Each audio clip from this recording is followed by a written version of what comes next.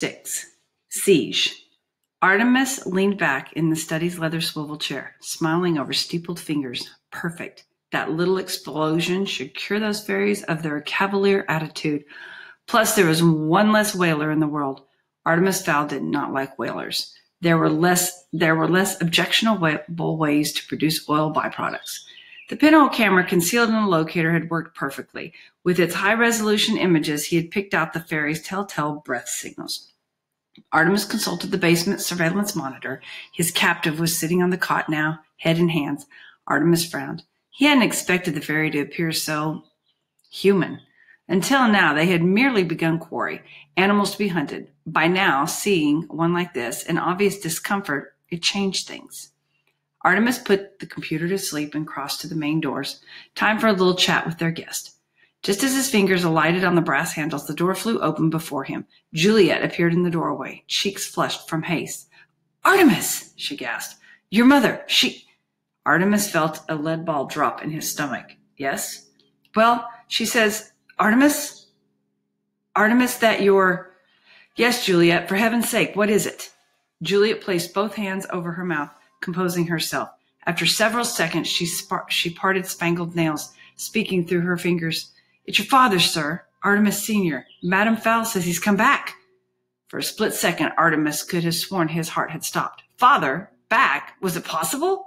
Of course, he'd always believed his father was alive, but lately, since he'd hatched this fairy scheme, it was almost as if his father had shifted to the back of his mind. Artemis felt guilt churn in his stomach. He had given up, given up his own father. Did you see him, Juliet, with your own eyes? Girl shook her head.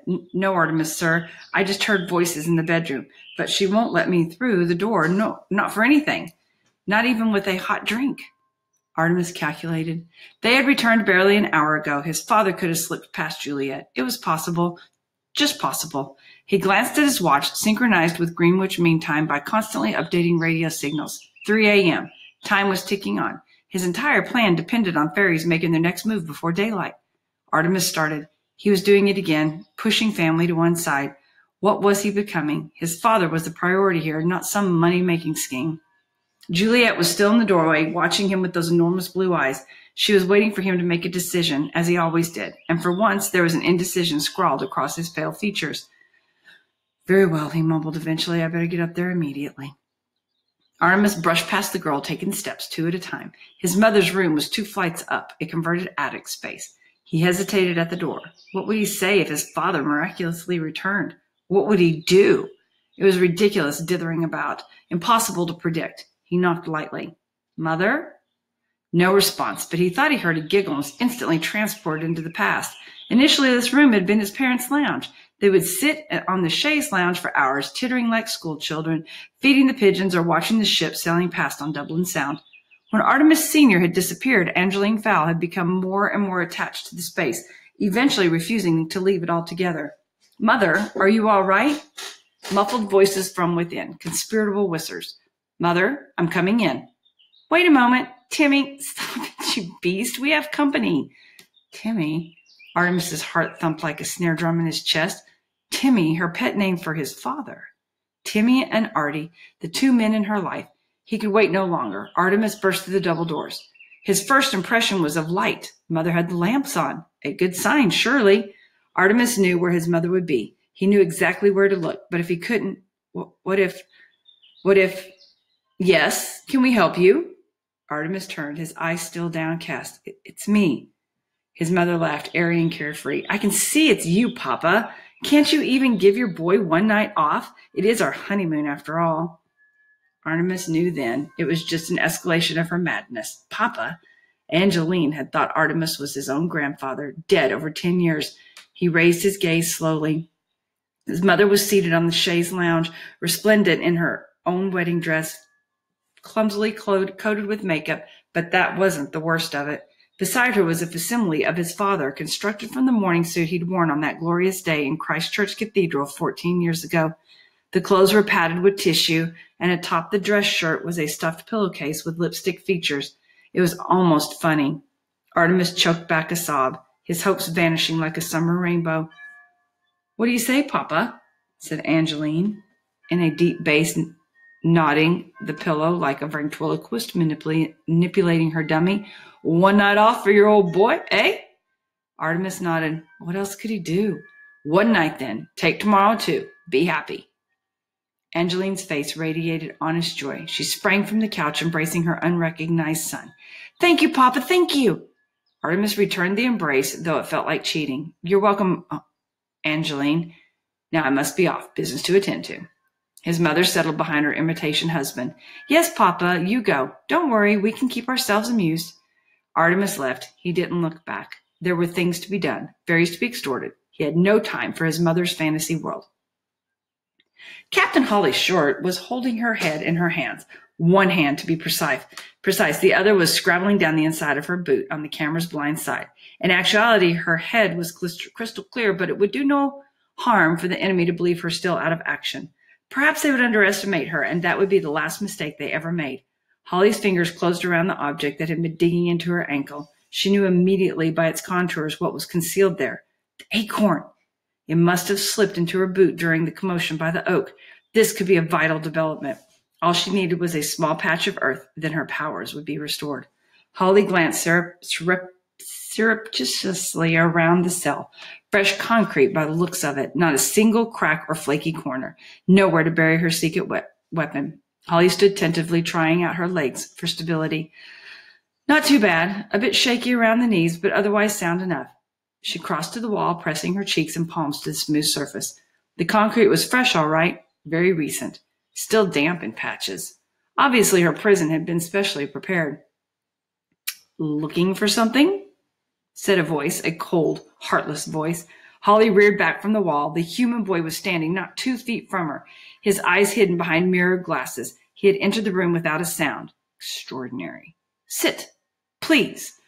Holly did not want to sit, please. What she wanted to do was incapacitate this insolent pup with her elbow and use his miserable hide for leverage. Artemis could see it in her eyes, and it amused him. Getting ideas, are we, Captain Short? Holly bared her teeth. It was answer enough. We are both fully aware of the rules here, Captain. This is my house. You must abide by my wishes, your laws, not mine. Obviously, my wishes do not include bodily harm to myself or your attempting to leave this house. It hit Holly then. How do you know my your name? Your rank? Artemis smiled, though there was no joy in it. If you wear a name tag, Holly's hand unconsciously covered the silver tag on her suit. But it's written in Gnomish. I know. I happen to be fluent, as is everyone in my network. Holly was silent for a moment, processing this momentous re- revelation. Fowl, she said with feeling. You have no idea what you've done. Bringing the worlds together like this can mean disaster for us all. Artemis shrugged. I am not concerned with us all, just myself. And believe me, I shall be perfectly fine. Now sit, please. Holly sat, never taking her eyes from the diminutive monster before her. So what is this master plan, Fowl? Let me guess. World domination? Nothing so melodramatic, chuckled Artemis. just riches. Thief! You're just a thief? Annoyance flashed across Artemis's features, only to be replaced by his customary sardonic grin. Yes, a thief, if you like. Hardly just a thief, though. The world's first cross-species thief. Captain Short snorted. First cross-species thief. Mud people have been stealing us for millennia. Why do you think we live underground? True, but I will be the first to successfully separate a fairy from its gold. Gold? Gold? You human idiot. You don't honestly believe that crock of gold nonsense. Then some things aren't true, you know. Holly threw her head back and laughed. Artemis checked his nails patiently, waiting for her to finish. When the gales had finally subsided, he shook his index finger. You were right to laugh, Captain Short. For a while there, I did believe in all that under the rainbow crock of gold blarney, but now I know better. Now I know about the hostage fund. Holly struggled to keep her face under control. What hostage fund? Oh, come now, Captain. Why bother with this charade? You told me about it yourself. I, I told you, stammered Holly. Ridiculous. Look at your arm. Holly rolled up her right sleeve, and there was a small cotton pad taped to the vein. That's where we administered the sodium pentothal, commonly known as truth serum. Yes, sang like a bird. Holly knew it was true. How else could he know? You're crazy. Artemis nodded in- indulgently. If I win, I'm a prodigy. If I lose, then I'm crazy. That's the way history is written. Of course, there had to be no sodium pentothal, just a harmless prick with a sterilized needle. Artemis would not risk causing brain damage to his meal ticket, nor could he afford to reveal the book as the source of his information. Better to let the hostage believe that she had betrayed her own people. It would lower her morale, making her more susceptible to his mind games. Still, the ruse disturbed him. It was undeniably cruel. How far was he prepared to go for this gold? He didn't know, and wouldn't until the time came. Holly slumped, momentarily defeated by this latest development. She had talked, revealed sacred secrets. Even if she did manage to escape, she would be banished to some freezing tunnel into the Arctic Circle. This isn't over, Fowl, she said at last. We have powers you can't possibly know about. It would take days to describe them all. The infuriating boy laughed again. How long do you think you've been here? Holly groaned. She knew what was coming. A few hours. Artemis shook his head. Three days, he lied. We have had you on a drip for over 60 hours until you told us everything we needed to know. Even as the words came out, Artemis felt guilty. These mind games were having an obvious effect on Holly, destroying her from the inside out. Was there really a need for this? Three days? You could have killed me. What kind of. And it was that speechless quality that sent the doubt shooting through Artemis's brain. The fairy thought him so evil he couldn't even find the words. She couldn't even find the words. Holly pulled herself together. Well then, Miss Master Fowl, she spat heavy on the contempt. If you know so much about us, then you should know what happens when they locate me. Oh, yes, I know. In fact, I'm counting on it. Was Holly's turn to grin. Oh, really? Tell me, boy, have you ever met a troll? For the first time, the human's confidence dropped a notch. No, never a troll. Holly showed more teeth. You will, Fowl. You will. And I hope I'm there to see it. The Leopard established a surface ops HQ at E1 Tara. Well, said Root, slapping a par- par- paramedic gremlin who was applying burn salve to his forehead. Leave it. The magic will sort me out soon enough. Well, what? replied Foaly. Don't give me any of your lip today, Foaly, because today is not one of those, oh, I'm so impressed with the, the pony's technology days. Tell me what you found on the human. Foaly scowled, securing his foil hat between curled horns. He flipped the top in a wafer thin laptop. I hacked into Interpol. Not too difficult, I can tell you. They might as well have put out a welcome mat. Root drummed his fingers on the conference table. Get on with it. Right. Fowl. 10 gigabyte file in paper terms. That's half a library. The commander whistled. That is one busy human. Family, corrected Foaly. The Fowls have been subverting justice for generations. Racketeering, smuggling, armed robbery, mostly corporate crime last century. So do we have a location? That was the easy part. Fowl Manor, on a 200 acre estate on the outskirts of Dublin. Fowl Manor is only about 20 clicks from our current location. Hmm, Root chewed his bottom lip. Only 20? That means we can make it before first light. Yep. Sort out this whole mess before it gets out of hand in the rays of the sun. The commander nodded. This was their first break. Fairies had not operated in natural light for centuries. Even when they lived above ground, they were essentially night creatures. The sun diluted their magic like bleaching a photograph. If they had to wait another day before sending in a strike force, who knew what damage Fowl could achieve? It was even possible that this whole affair was media oriented, and by tomorrow evening, Captain Short's face would be on the cover of every publication on the planet. Root shuddered. That would spell the end of everything, unless the mud people had learned to coexist with other species. And if history had taught any lesson, it was that humans couldn't get along with anyone, even themselves. Right. Everyone lock and load. V flight pattern. Establish a perimeter inside manor grounds. The retrieval squad roared military type affirmatives, coaxing as many metallic noises from their weapons as possible. Foaly, round up the techies, follow us in the shuttle, and bring the big dishes. We'll shut down the entire estate, give ourselves a bit of breathing room. One thing, Commander, mused Foaly. Yes, said Root impatiently. Why did this human tell us who he was? He must have known we could find him. Root shrugged. Maybe he's not as clever as he thinks he is. No, I don't think that's it. I don't think that's it at all. I think he's been one step ahead of us all the way, and this is no different. I don't have time for theorizing now, Foaly. First light is approaching. One more thing, Commander. Is this important? Yes, I think it is. Well, Foaly tapped a key on his laptop, scrolling through Artemis's vital statistics. This criminal mastermind, the one behind the elaborate scheme? Yes, what about him? Foaly looked up, an almost admiring look in his golden eyes. Well, he's only 12 years old. And that's young, even for a human. Root snorted, jacking the new battery into his tri-barrel blaster. Too much damn TV. Thinks he's Sherlock Holmes. That's Professor Moriarty, corrected Foaly. Holmes, Moriarty, they both look the same with the flesh scored off their skulls. And with that elegant parting response, Root followed his squad into the night air. The retrieval squad adopted the V-Goose formation with Root on point. They flew southwest, following the video feed emailed to their helmets. Had even marked Fowl Manor with a red dot. Idiot proof, he'd muttered into his mouthpiece, just loud enough for the commander to hear him. The centerpiece of the Fowl estate was a renovated late medieval early modern castle built by Lord Hugh Fowl in the 15th century. Fowls had held on to Fowl Manor over the years, surviving war, civil unrest, and several tax audits. Artemis did not intend to be the one to lose it.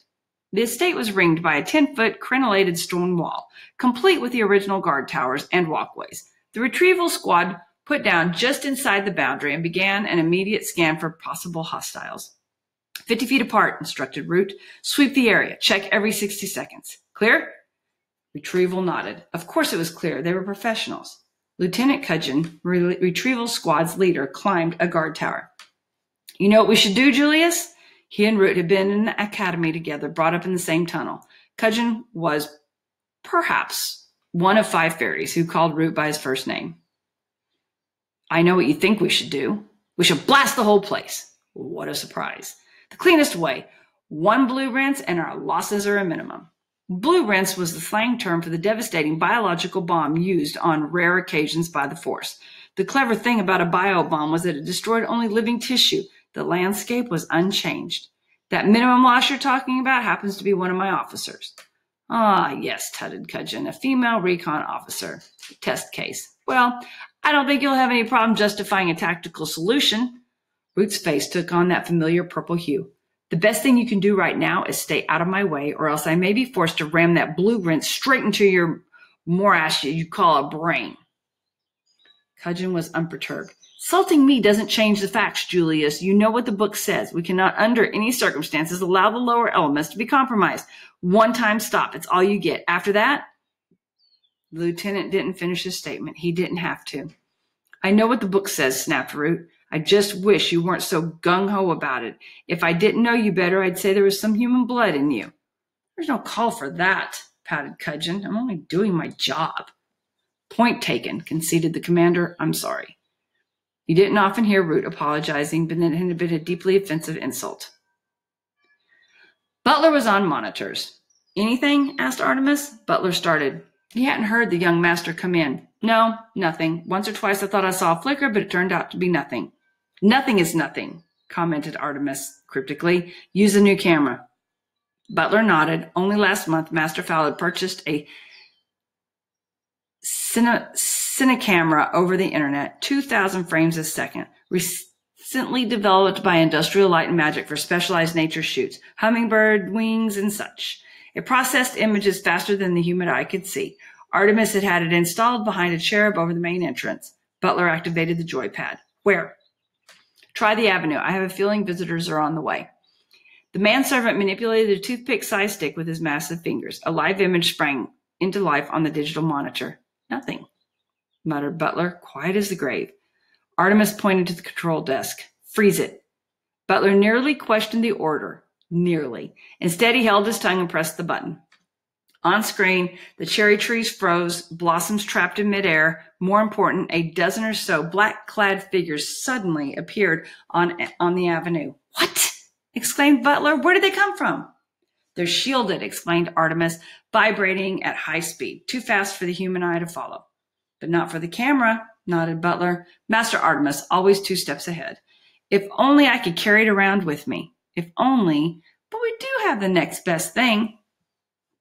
Artemis lifted a headset gingerly from the workbench. It was the remains of Holly's helmet. Obviously, trying to cram Butler's head into the original helmet would be like trying to fit a potato into a thimble. Only the visor and control buttons were intact. Straps from a hard hat had been rigged to fit the manservant's cranium. This thing is equipped with several filters. It stands to reason that one of them is anti-shield. Let's try it out, shall we? Artemis placed the set over Butler's ears. Obviously, with your eye span, there are going to be blind spots, but that shouldn't hamper you unduly. Now, run the camera. Butler set the camera rolling while Artemis slotted down one filter after another. Now, No. Now, everything's gone red, ultraviolet, no fairies. Now, no. Polaroid, I think. Last one. Butler smiled, a shark that spotted a bear behind. Got him. Butler was seeing the world as it was, complete with LEP retrieval teams sweeping the avenue. Hmm, said Artemis. Strobe variation, I would guess. Very high frequency. I see, fibbed Butler. Metaphorically or literally? His employer smiled. Exactly. Artemis shook himself. More jokes. Next thing, he'd be wearing clown shoes and turning cartwheels in the main hall. Very well, Butler. Time for you to do what you do best. We appear to have intruders in the grounds. Butler stood. No further instructions were necessary. He tightened the hard hat straps, striding brusquely to the door. Oh, and Butler, yes, Artemis, I prefer scared to dead, if possible. Butler nodded. If possible. LEP Retrieval 1 was the best and the brightest. It was every little fairy's dream that one day he would grow up to don the stealth black jumpsuit of the Retrieval Commandos. These were the elite. Trouble was their middle name. In the case of Captain Kelp, Trouble was actually his first name. He'd insisted on it as manhood ceremony, having just accepted into the academy. Trouble led his team down the sweeping avenue. As usual, he took the point position himself, determined to be the first into the fray, if, as if he fervently hoped, fray developed. Check in, he whispered to the mic, wound snake-like from his helmet. Negative on one. Nothing, Captain. Big negatory, Trouble. Captain Kelp winced.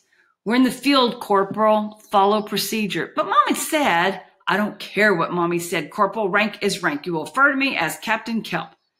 Yes, sir, Captain, sulked the corporal. But don't ask me to iron your tunic anymore. Trouble zeroed in on his brother's channel, shutting out the rest of the squad. Shut up about mommy, will you? And the ironing, you're the only on this mission because I requested you. Now start acting like a professional or get back to the perimeter. Okay, Trubs. Trouble! shouted Captain Kelp. It's trouble, not Trubs, not Trub, trouble. Okay? Okay, trouble. Mommy's right. You're only a baby. Swearing very unprofessionally, Captain Kelp switched his headset back to the open channel. He was just in time to hear an unusual sound. What? Was that? Dunno. Nothing, Captain. But Trouble had done a sound recognition in service for his captain's exam, and he was pretty sure that art had been caused by someone getting chopped across the windpipe. More than likely, his brother had walked into a shrub. Grub, are you all right? That's Corporal Grub to you. Kelp viciously kicked a daisy. Check in. Sound off in sequence. One. Okay. Two. Fine. Three. Bored but alive. Five. Approaching West Wing. Kelp froze. Wait. Four. You there for? What's your situation? Nothing except static. Right. Four is down, possibly an equipment malfunction. Still, we can't afford to take any chances. Regroup by the main door. Retrieval one crept together, making slightly less noise than a silk spider. Kelp did a quick head count 11, one short of a full complement. Four was probably wandering around in the rose bushes, wondering why nobody was talking to him. Then Trouble noticed two things. One, a pair of black boots was sticking out of a shrub beside the door. And two, there was a massive human standing in the doorway. The figure was cradling a very nasty looking gun in the crook of his arm. Go silent, whispered Kelp. And immediately 11 full faced visors slid down to seal in the sounds of his squad's breathing and communications. Now, nobody panic. I think I can trace the sequence of events here. Four is skulking around the outside door. The mudman opens it. Four gets whacked on the noggin and lands in the bushes. No problem. Our cover is intact. Repeat, intact. So no itchy fingers. Please. Grub. Sorry, Corporal Kelp. Check Four's vitals. The rest of you make a hole and keep it quiet. The squad stepped back carefully until they were standing in the manicured grassy verge. The figure before them was indeed impressive, without a doubt the biggest human any of them had ever seen. D'Arvit, breathed two. Maintain radio silence except in emergencies, ordered Kelp. Swearing is hardly an emergency. Secretly, however, he concurred with the sentiment. This was the one time he was glad to be shielded. That man looked as if he could squash half a dozen fairies in one mass of grub. Fist. Grub returned to his slot. Forest stable, concussed, I'd guess, but otherwise okay. His shield's off, though, so I stuffed him in the bushes. Well done, Corporal. Good thinking. The last thing they needed was Four's boots to be spotted. The man moved, lumbering casually along the path. He may have glanced left or right. It was difficult to tell beneath the hood pulled over his eyes. Odd for a human to wear a hood on such a fine night. Safety catches off, ordered Trouble. He imagined his men rolling their eyes like they hadn't had their safeties off for the last half hour. Still, you had to go by the book in case of a tribunal later on.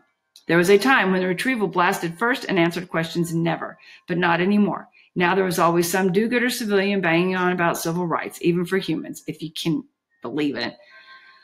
The man mountain stopped right in the middle of the squad. If he had been able to see them, it would have been the perfect tactical position. Their own firearms were virtually useless as they would probably do more damage to each other than to the human. Fortunately, the entire squad was invisible with the exception of four, who was safely hidden in what appeared to be a rhododendron. Buzz batons, fire 'em up just in case, no harm in being cautious. And when the LEP officers were switching weapons, right at that moment, when their hands were fumbling with the holsters, that's when the mud man spoke. Evening, gentlemen, he said, sweeping back his hood. Funny that, thought Trouble. It was almost as if then he saw the makeshift goggles. Cover, he screamed, cover! But it was too late. No option but to stand and fight. And that was no option at all.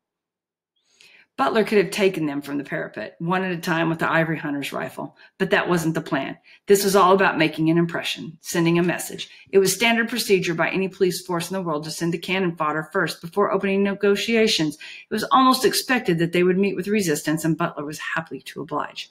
He peeked out through the letterbox, and oh, so happy can it coincidence, there was a pair of goggled eyes peeking right back at him. It was just fortuitous to pass up. Bedtime, said Butler, heaving the door with a mighty shoulder. The fairy flew several feet before alighting in the shrubbery. Juliet would be devastated. She loved her rhododendrons. One down, several to go. Butler pulled up the peaked hood on his field jacket, stepping into the porch. There they were spread out like squadron of action men. If not for the array of very proficient looking weaponry hanging from each belt, it would have been almost comical.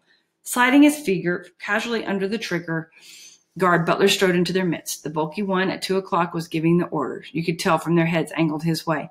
The leader gave a command and the squad switched to close quarter weapons. It made sense. They'd only cut themselves to pieces with firearms. Time for action. Evening, gentlemen, Butler said. He couldn't help in it. It was one and it was worth it for that one moment of consternation. Then his gun was up and blazing. Captain Kelp was the first casualty. A titanium tipped dart punctured the neck of his suit. He went down sluggishly as though the air had turned to water. Two more of the squad were dropped before they had any idea what was going on. Must be quite traumatic, thought Butler dispassionately, to lose an advantage that you've had for centuries. By now, the remains of Retrieval One had their buzz batons fired up and raised, but they made the mistake of hanging back, waiting for a command that was not forthcoming. This gave Butler an opportunity to take the fight to them as if he needed another advantage.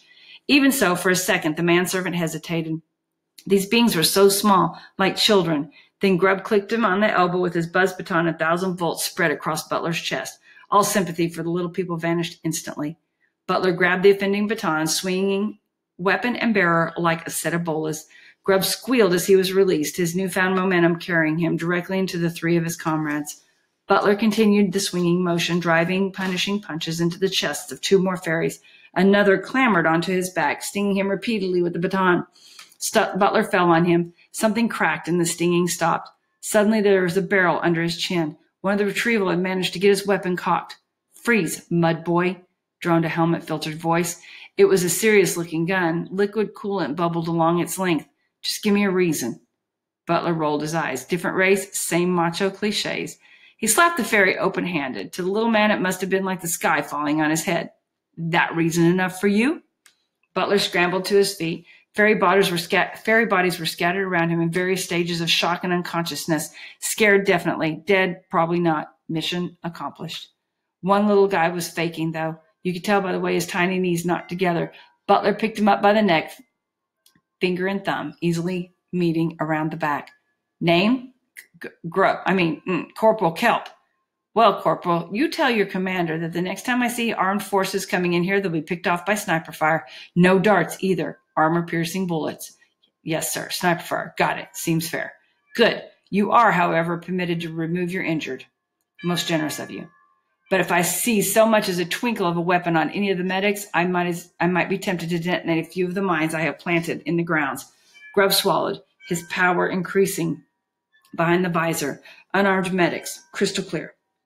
Butler set the fairy down, brushing his tunic with massive fingers. Now, final thing, listening?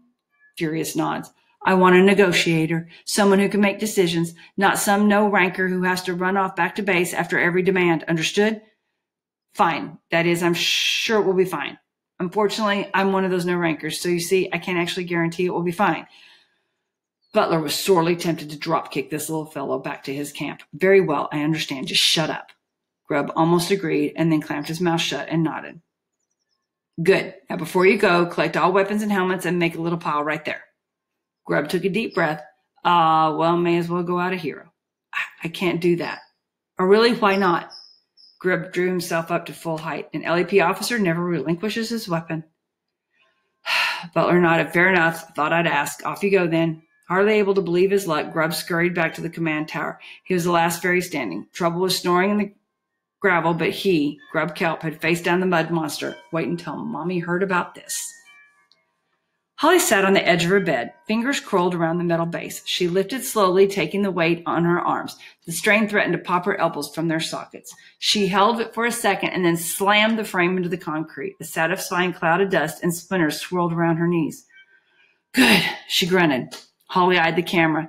Doubtless they were watching her. No time to waste. She flexed her fingers, repeating the maneuver again and again until the steel base left deep whelps in her finger joints. With each impact, more and more splinters popped from the fresh floor. After several moments, the cell door burst open and Juliet fell into the room. What are you doing? She panted, trying to knock the house down. I'm hungry, shouted Holly, and I'm fed up with waving at the stupid camera. Don't you feed your prisoners around here? I want some food.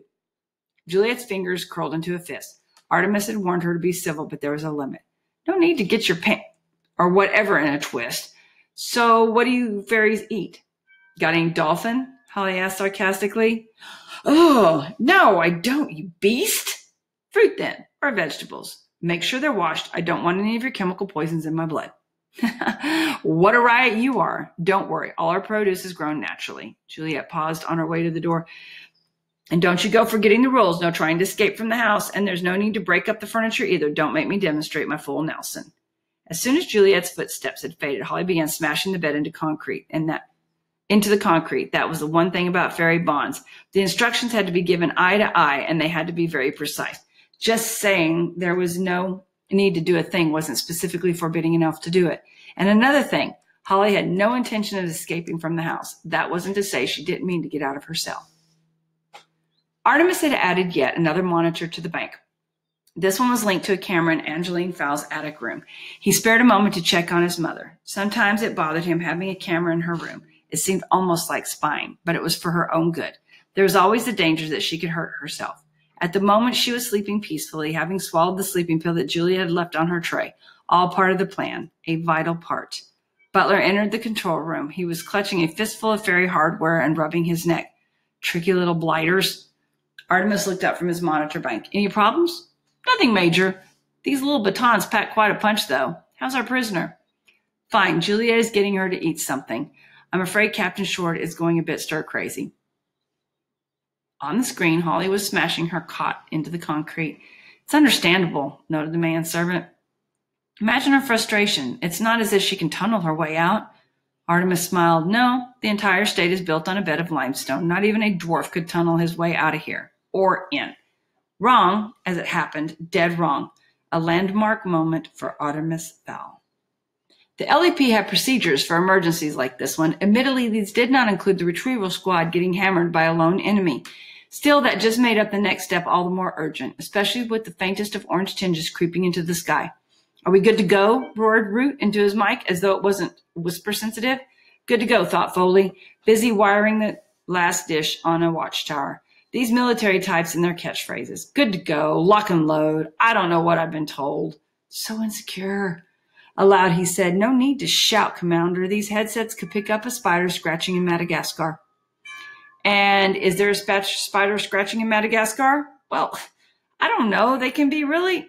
Well, stop changing the subject, Foaly, and answer the question. The centaur scowled. The commander took everything so literally. He plugged the dishes modem lead into the laptop. Okay, we're good to go. About time, too, right? Flip the switch. For the third time in as many moments, Foaly gritted his horsey teeth. It, he was indeed the stereotypical, unappreciated genius. Flick the switch, if you don't mind. Root didn't have the cranial capacity to appreciate what he was trying to do here. Stopping time wasn't just a matter of pressing the on button. There was a series of delicate procedures that had to be performed with utmost precision. Otherwise, the stop zone would end up as just so much an ash and radioactive slop. Well, it was true the ferries had been stopping time for millennia. These days, with satellite communication and the internet, humans were liable to notice if a zone just dropped out of time for a couple of hours. There was an age when you could throw a blanket stoppage over a whole country and the mud people would simply thank the gods were angry, but not anymore. Nowadays, the humans had instruments for measuring anything. So if there was any time stopping to be done, it had better be fine tuned and precise. In the old days, five elven warlocks would form a pentagram around the target and spread a magic shield over it, temporarily stopping time inside the chanted closure. This was fine as far as it went, provided the warlocks didn't have to use the bathroom. Many a siege was lost because an elf had one glass of wine too many. Warlocks tire quickly too, and their arms get sore. On a good day, you had maybe an hour and a half, which was hardly worth the trouble in the first place. It was Foaly's idea to mechanize the whole procedure. He had the warlocks do their thing into lithium batteries and then set up a network of receiver dishes around the designated area. Sounds simple? Well, it wasn't. But there were definite advantages. For one, there were no more power surges. Batteries didn't try to show off to each other. You could calculate exactly how many power cells were needed, and sieges could be extended for up to eight hours. As it happened, the Fowl Estate was the perfect location for a time stop, isolated with a definite boundary. It even had elevated towers for the dishes, for heaven's sakes. It was almost as if Artemis Fowl wanted it to be time stopped. Foaly's finger hesitated over the button. Could it be possible? After all, the human youth had been one step ahead throughout this whole affair. Commander, are we online yet? Not exactly. There's something. Root's reaction nearly blew out the woofers in Foaly's earpiece. No, Foaly, there isn't something. None of your bright ideas. Thank you very much. Captain Short's life is in danger, so push the button before I climb that tower and push it with your face. Touchy, muttered Foaly and pushed the button. Lieutenant Cudgeon checked his moonometer. You have eight hours. I know how much time we have, growled Root, and stop following me. Don't you have work to do? Actually, now that you mention it, I have a bio bomb to arm. Root rounded on him. Don't annoy me, Lieutenant. Having you make comments at every turn is not improvising, improving my concentration. Just do whatever it is you feel like you have to do, but be prepared to back it up at tribunal. If this goes wrong, heads are going to roll. Indeed, muttered Cudgeon under his breath, but mine is not going to be one of them. Root checked the sky. A shimmering azure field had descended over the folious Fowl estate. Good. They were in limbo. Outside the walls, life continued at an exaggerated pace. But if anyone were to somehow gain access to the manor, in spite of the fortified walls and high gate, they would find it deserted, all occupants trapped in the past. So for the next eight hours, it would be twilight on the Fowl estate. After that, Root could not guarantee Holly's safety. Given the gravity of the situation, it was more than likely that Cudgeon would be would get the go ahead to biobomb the whole place. Root had seen a blue rinse before. No living thing escaped, not even the rats. Root caught up with Foaly at the base of the North Tower. The Centaur had parked a shuttle by the three foot thick wall. Already the work area is a mess of tangled wires and pulsating fiber optics. Foaly, are you in there? The Centaur's foiled cap had emerged from the belly of a disemboweled hard drive. Over here, Commander. You've come to push a button with my face, I presume? Root almost laughed. Don't tell me you're looking for an apology, Foaly. I've already used my quota for today, and that was to a lifelong friend. Cudgeon, forgive me, Commander, but I wouldn't waste my apologies on the lieutenant. He won't be wasting any on you when he stabs you in the back. You're wrong about him. Cudgeon is a good officer, a bit eager certainly, but he'll do the right thing when the time comes. The right thing for himself, maybe. I don't think Holly is at the top of his priority list. Root didn't answer. He couldn't. And another thing, I have a sneaking suspicion that young Artemis Fowl wanted us to stop time. After all, everything else we've tried has played straight into his hands. Root rubbed his temples. That's impossible. How could a human know about time stoppage? Anyway, this is no time for theorizing, Foaly. I have less than eight hours to clean up this mess. So what have you got for me? Foaly clopped over to an equipment rank, Equipment rack clamped to the wall. No heavy armament, that's for sure. Not after what happened to Retrieval 1. No helmet either. That beast of a mudman seems to collect them. No, to show good faith, we're going to send you in unarmed and unarmored. Root snorted. What a mutual did you get this from? What manual did you get this from? Standard operating procedure, fostering trust, speeds communication. Stop quoting me and give me something to shoot. Suit yourself, said Foaly selecting what looked like a finger from the rack. What is that? It's a finger. What does it look like? A finger? Yes, but not an ordinary finger. He glanced around to make sure that no one else was watching. The tip contains a pressurized dart, one shot only. You tap the knuckle with your thumb and someone goes a Betty bye. Why haven't I seen this before? It's a covert kind of thing. And, said Root suspiciously, well, there have been accidents. Tell me, Foaly, our agents keep forgetting they have it on, meaning they shoot themselves. Foaly nodded miserably. One of our best sprites was picking his nose at the time, three days on the critical list. Root, Root rolled the memory latex onto his index finger, where it immediately assumed the shape and flesh of the host digit. Don't worry, Foaly. I am not a complete idiot. Anything else? Foaly unhooked what appeared to be a false bottom from the equipment rack. You're not serious. What does that do? Nothing, admitted the centaur, but it gets great laughs at parties. Root chuckled twice. That was a major lapse for him. Okay, levity over. Are you going to wire me? Naturally. One iris cam. What color? He peered into the commander's eyes. Hmm, mud brown. He selected a small vial from the shelf and removed the electronic contact lens from a fluid capsule. Plucking Root's eyelid with thumb and forefinger, he slotted the iris cam. That might irritate you. Try not to rub or it could end up in the back of your eye. Then we'd be looking into your head and there's nothing interesting in there, heaven knows. Root blinked, resisting the urge to need his watering eye. That's it? Foaly nodded. That's all we dare risk. The commander agreed reluctantly. His hip felt very light without his tri-barreled blaster dangling from it. Okay, I suppose this amazing dart finger will have to do. Honestly, Foaly, if this blows up in my face, you'll be on the next shuttle back to Haven. The centaur snickered. Just be careful in the toilet. Root didn't laugh. There were some things you did not joke about. Artemis' watch had stopped. It was as though Greenwich wasn't there anymore. Or perhaps, mused Artemis, we're the ones who have disappeared. He checked CNN. It had frozen. A picture of Riz Khan jittered slightly on the screen. Artemis could not hold back a satisfied smile. They had done it just like the book had said. The LEP had stopped time, all according to plan. Time to check out a theory. Artemis wheeled over to the monitor bank and punched up the MAM cam on the 28 inch main monitor. Angeline Fowl was no longer in the chaise lounge. Artemis panned around the room. It was empty. His mother had gone, disappeared. His smile widened. Perfect. Just as he suspected. Artemis switched his attention to Holly Short. She was banging the bed again. Occasionally she would rise from the mattress, pounding the wall with her bare fist. Maybe it was more than frustration. Could there be a method in her madness? He tapped the monitor with his slim finger. What are you up to, Captain? What's your little plan? He was distracted by a movement on the avenue monitor. At last, he breathed. The games begin. Figure was advancing down the avenue, small but imposing nonetheless, unshielded too. Finished play acting then? Artemis punched the intercom button. Butler, we have a guest. I'll show him in. You get back here and police the surveillance cameras. Butler's voice came back tinny through the speaker. 10 4, Artemis, on my way. Artemis buttoned his designer jacket, causing, pausing at the mirror to straighten his tie. The to nego- trick to negotiation was to hold all the cards going in, and if you didn't, try to look as if you did. Artemis put on his best sinister face. Evil, he told himself, evil but highly intelligent and determined. Don't forget determined. He put a hand on the doorknob. Steady now. Deep breaths. Try not to think about the possibility that you've misjudged this situation or are about to be shot dead. One, two, three. He opened the door.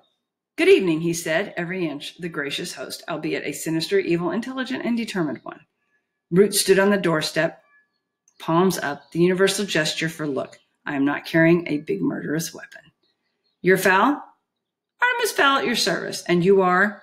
LEP Commander Root. Right. We know each other's names, so could we get on with this? Certainly. Root decided to chance taking out his weapon. Step aside then, where I can see you. Artemis's face hardened. Have you learned nothing from my demonstrations? The ship? Your commandos? Do I need to kill someone? No, said Root hurriedly. I only you only meant to lure me outside where I could be snatched and used to trade. Please, Commander Root, raise your game or send someone intelligent. Root felt the blood pump through his cheeks. Now you just listen to me, you young. Artemis smiled, in command again.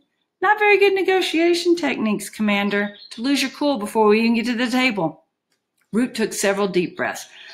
Fine, whatever you say. Where would you prefer to conduct our talks? Inside, of course. You have my permission to enter, but remember, Captain, Short's life is in your hands. Be careful with it. Root followed his host down the vaulted hallway. Generations of Fowls glared down at him from classical portraits. They passed through a stained oak doorway to a long conference room. There were two places set at a round table, complete with pads, ashtrays, and water jugs. Root was delighted to see the ashtrays and immediately pulled a half chewed cigar from his vest. Maybe you're not such a barbarian after all, he grunted exhaling a huge cloud of green smoke. Commander ignored the water jugs, instead pouring himself a shot of something purple from a hip flask. He drank deeply, belched, and sat. Ready? Artemis shuffled his notes like a news anchor. Here's the situation as I see it. I have the means to expose your subterranean in existence, and you are powerless to stop me. So basically, whatever I ask for is a small price to pay. Root spat out a shred of fungus tobacco. So you think you can just put all this information out over the internet? Well, not immediately, not with the time stopping effect. Root choked on a lungful of smoke, their ace in the hole, gone. Well, if you know about the time stop, you must also know that you're completely cut off from the outside world. You are, in effect, powerless. Artemis joined, Artemis jotted on a notepad. Let's save some time here. I grow weary of your clumsy bluffs. In the case of an abduction, the LEP will first send a crack retrieval team to get back what has been lost. You have done so. Excuse me while I titter. Crack team. Honestly, a Cub Scout patrol armed with water pistols could have defeated them. Root fumed silently, taking out his anger on his cigar butt. Next official step is negotiation. And finally, when the eight hour time limit is about to run out and if no solution can be reached, a biobomb is detonated, contained by the time field. You appear to know an awful lot about us, Master Fowl. Do I suppose you'll tell me now and how? Correct. Root mashed the remains of his cigar into the crystal ashtray. So let's have it. What are your demands? One demand, singular. Artemis slid his notepad across the polished table. Root read what was written there. One ton of 24 karat gold, small unmarked ingots only. You can't be serious. Oh, but I am. Root sat forward in his chair. Don't you see? Your position is untenable. Either you give us back Captain Short or we'll be forced to kill you all. There is no middle ground. We don't negotiate, not really, and I'm just here to explain the facts to you. Artemis smiled his vampire smile. Oh, but you will negotiate with me, Commander. Oh, really? What makes you so special? I am special because I know how to escape the time field. Impossible, snorted Root. Can't be done. Oh, yes, it can. Trust me, I haven't been wrong yet. Root tore the top tore off the top page, folding it into his pocket. I'll have to think about this. Take your time. We have eight hours. Excuse me, seven and a half hours. Then time's up for everybody. Root said nothing for a long while, tapping his nails on the tabletop. He took a breath to speak and then changed his mind and stood abruptly. We'll be in touch. Don't worry. I'll see myself out. Artemis pushed his chair back. You do that. But remember this. None of your race has permission to enter here while I am alive. Root stalked down the hallway, glaring back at the oil paintings. Better to leave now and process this new information. The Fowl boy was indeed a slippery opponent, but he was making one basic mistake the assumption that Root would play by the rules. However, Julius Root hadn't gotten his commander's stripes by following any rule book. Time for a bit of unorthodox action. The videotape from Root's iris cam was being reviewed by experts. You see there, said Professor Cumulus, a behavior specialist, that twitch, he's lying. Nonsense, huffed Dr. Argon, a psychologist from below the United States. He's itchy, that's all. He's itchy, so he scratches. Nothing sinister in it. Cumulus turned to Foaly. Listen to him. How can I be expected to work with this charlatan? Witch doctor, countered Argon. Foaly raised his hairy palms. Gentlemen, please, we need agreement here, a concrete profile. It's no use, said Argon. I can't work in these conditions. Cumulus folded his arms. If he can't work, neither can I. Root strode through the shuttle, double doors. His trademark purple complexion was even rosier than usual. That human is toying with us. I will not have it. Now, what did our experts make of the tape? Foaly moved slightly to the side, allowing the commander a clear run at the so-called experts. Apparently, they can't work in these conditions. Root's eyes narrowed into slits, bringing his prey into sharp focus. Excuse me? The good doctor's a half-wit, said Cumulus, unfamiliar with the commander's temper. I, I'm a half-wit? stuttered Argon, equally ignorant. What about you, you cave fairy, plastering your absurd interpretations into the most innocent of gestures? Innocent? The boy is a bag of nerves, obviously lying. It's textbook. Root slammed his clenched fist into the table, sending a spider web of cracks scurrying across the surface. Silence! And silence there was, instantly. Now, you two experts on handsome retainers for your profiling work, correct? The pair nodded, afraid to speak in case that broke the silence rule. This is probably the case of your lives, so I want you to concentrate very hard. Understood? More nods. Root, prop, mm, Root popped the camera out of his weeping eye. Fast forwarded Foaly toward the end. The tape hopped forward erratically on screen. Root followed the human into his conference room. There, stop it there. Can you zoom in on his face? Can I zoom in on his face? snorted Foaly. Can a dwarf steal a web from under a spider? Yes, replied Root. That was a rhetorical question, actually. I don't need a grammar lesson, Foaly. Just zoom in, would you? Okay, boss, we'll do. The centaur's fingers prodded the keyboard with lightning speed. Artemis's visage grew to fill the plasma screen. I'd advise you to listen, said Root, squeezing the expert's shoulders. This is a pivotal moment in your careers. I am special, said the mouth on the screen, because I can escape the time field. Now tell me, said Root, is he lying? Run again, said Cumulus. Show me the eyes. Argon nodded. Yes, just the eyes. Foaly tapped a few more keys, and Artemis's deep blue eyes expanded to the width of the screen. I am special, boomed the human voice, because I can escape the time field. Well, is he lying? Cumulus and Argon looked at each other, all traces of antagonism gone. No, they said simultaneously. He's telling the truth, added the behaviorist. Or clarified the psychologist. At least he thinks he is. Root swabbed his eye with a cleansing solution. That's what I thought. When I looked at the human in the face, I figured he was either genius or crazy. Artemis's cool eyes glared at them from the screen. So which is it? asked Foaly. A genius or crazy? Root grabbed his tri-barrel blaster from the gun rack. What's the difference? He snapped, strapping his trusty weapon to his hip. Get me an outside line to eat one. This Fowl person seems to know all of our rules, so it's time to break a few.